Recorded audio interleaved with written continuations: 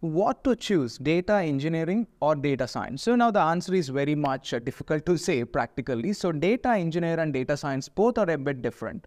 So a data engineer work mostly going to be about uh, collecting the data it can be a streaming data or it can be uh, your batch processing data whatever it is performing etl operation or elt operation and trying to store it into a right data warehouse so like choosing the right tools and choosing the right data pipelines, that is a work of a data engineer.